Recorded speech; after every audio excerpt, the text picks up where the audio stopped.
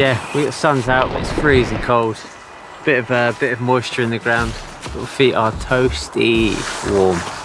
The ultimate winter shoe, I'm afraid.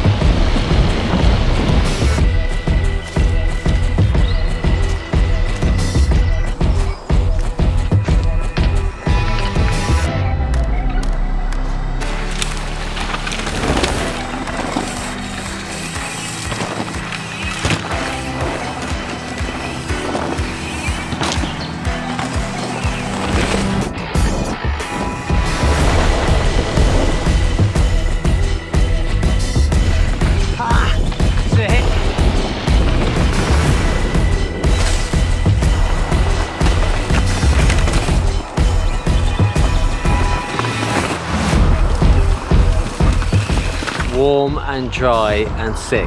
Lovely. So good. For sure a choice for the winter time.